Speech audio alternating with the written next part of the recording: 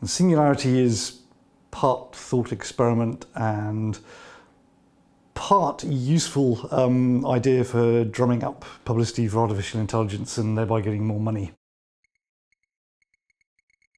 The idea is that you attempt to get computers to work on a more human level by um, being able to learn and infer uh, and act in a more human kind of way.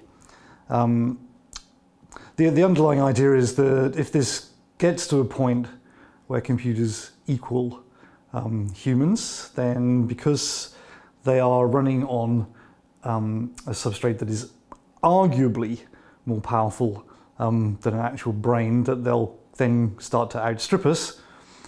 And the technology will probably at that time be around for them to start redesigning themselves because humans can design artificial intelligence and if it gets to the point it's as good as a human then AI can design AI. That This will get out of control and uh, computers and robots will outstrip us completely and depending on the uh, uh, what you listen to um, and how how much they want to push the uh, catastrophic line um, will end up killing us all or recycling us for uh, for our component parts or, or whatever. Um, and that's that tends to be the way that it's presented. It's much easier to present a catastrophe than it is to present friendly AI, which is uh, what I somehow suspect is more likely. Do you believe this is something that we will uh, ever get to or ever see? Over a long enough timescale, I think that human level artificial intelligence is completely inevitable. Um, if humanity hangs around for long enough and continues to progress in what it can do, then if you wait for long enough, as has been said before, um, can you make a machine think? Uh, sure, I'm a machine and I can think. At some point, it seems clear that uh, human-built machines get to a level of being as good as us and possibly outstripping us. The, the point of contention then is how long does it take? And there are fairly um, widely differing views on uh, the, the timescale that's actually involved. Ever since AI really got started in the 1950s, it's the, the you know, full human level AI has always been apparently on the horizon and has never um, quite appeared because it's just so hard. Now, well, I've been asked so many times to, to talk about this um, in recent months that I, I, sort of went back and tried to find some good examples to give, and I found an absolute cracker, which is um, I'm quoting Claude Shannon in computer science circles. Claude Shannon is of the same kind of level as Einstein. Shannon is responsible for information theory, um, without which you have no internet, no mobile phones, pretty much no nothing. Um, and so this man is, was, is a giant in computer science. So this is, this is him talking in 1961. I confidently expect that within a matter of 10 or 15 years, something will emerge from the laboratories which is not too far from the robots of science fiction fame. so, you know, many people have, have made this mistake before. And if you look at AI research, you find that in the 50s, people are saying it's on the horizon. Um, and then when it didn't deliver, everything died down and AI became deeply unfashionable. Then you had something called the, the fifth generation computing project, which was really heavily funded in Japan. Um, and they said they were going to solve AI by building big computers that would run a particular programming language called Prolog very, very fast. And that their, their main aim was going to be to make um, an AI that could play the game of Go um, at a human level. Um, this completely failed after many years of work and an awful lot of money. Um, and at that point, the hype cycle turned again and AI became deeply unfashionable.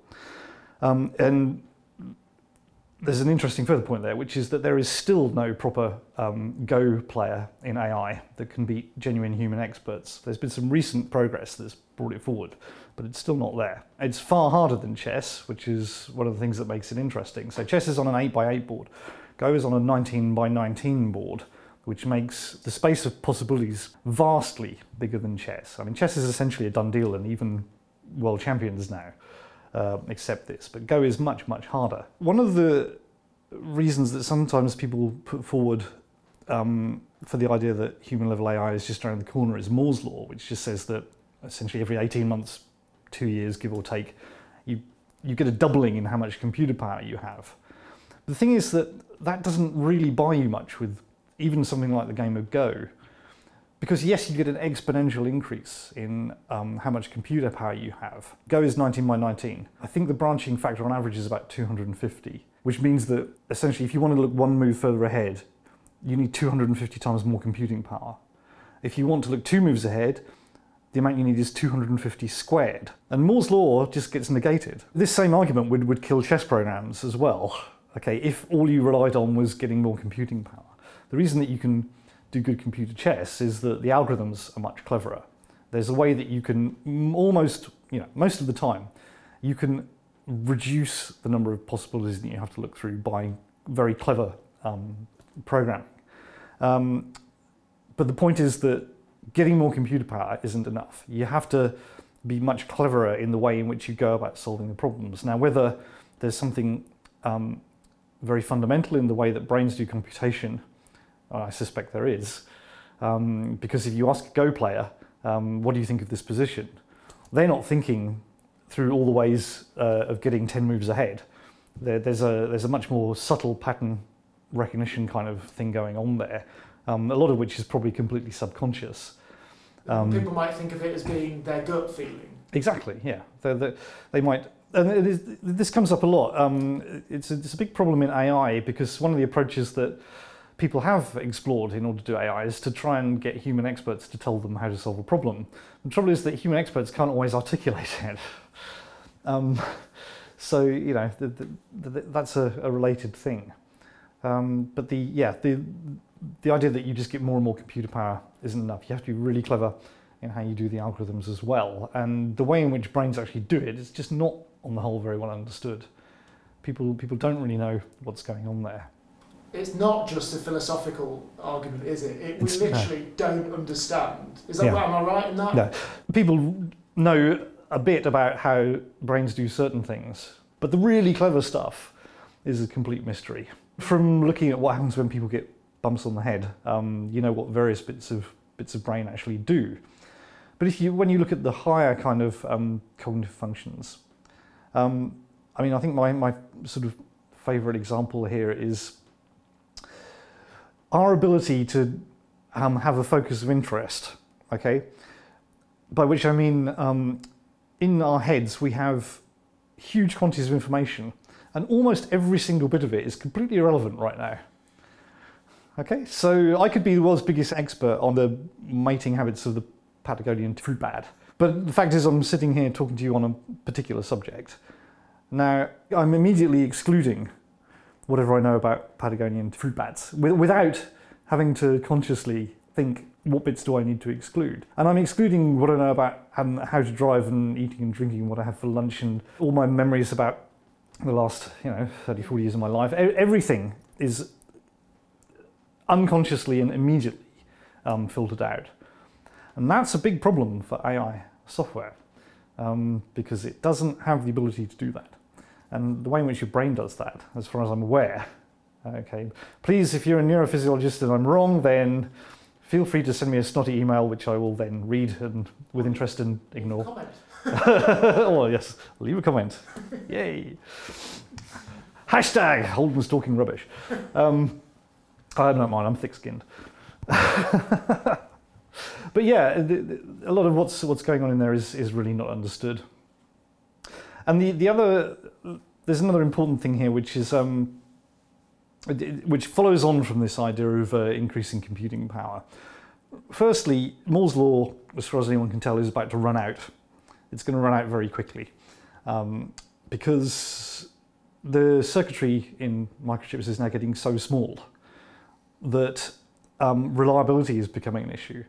If you actually look at the size of the things you're making on a microprocessor now, and you look in comparison at how big a grain of dust is, grain of dust, transistor, okay? Um, which is why you have to make these things in clean rooms. But you're getting so small now that it's getting to the point where you have to expend energy in order to make sure that the calculations the microprocessor are doing are actually correct. Um, also, there's a problem in that microprocessor silicon chips are fundamentally basically a two-dimensional object. Now they have many layers in them, okay, because you're layering out material, but fundamentally it's on a one millimeter thick um, die. Now, you could argue, well, let's just go to three dimensions because brains are three dimensional. But there's no real, really good way as yet of fabricating um, microprocessors in three dimensions. You, what tends to happen is, let's say one microprocessor probably takes 150 watts of power in a space that's about a couple of centimeters by a couple of centimeters and is flat.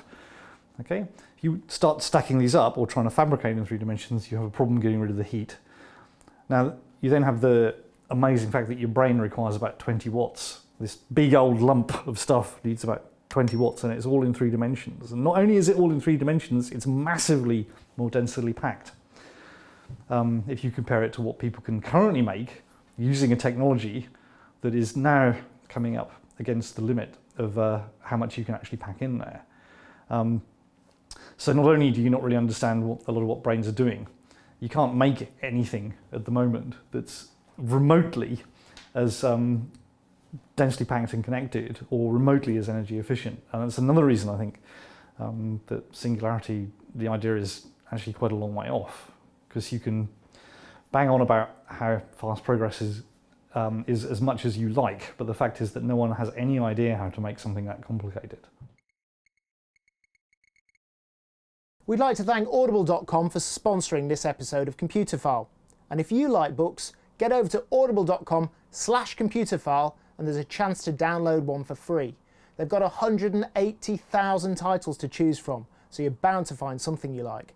And if you're interested, as most Computerphiles probably are, in artificial intelligence, the singularity, and the things we've been talking about in this video, check out Machines of Loving Grace by John Markoff. It should be right up your street. So thanks again to audible.com for sponsoring this episode of Computerphile.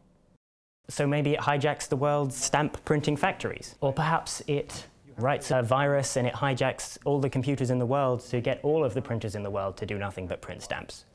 Um, so building a, a, model of the behavior of a human by watching the way they play um, gets you into territories that are, that are vastly harder even than Go.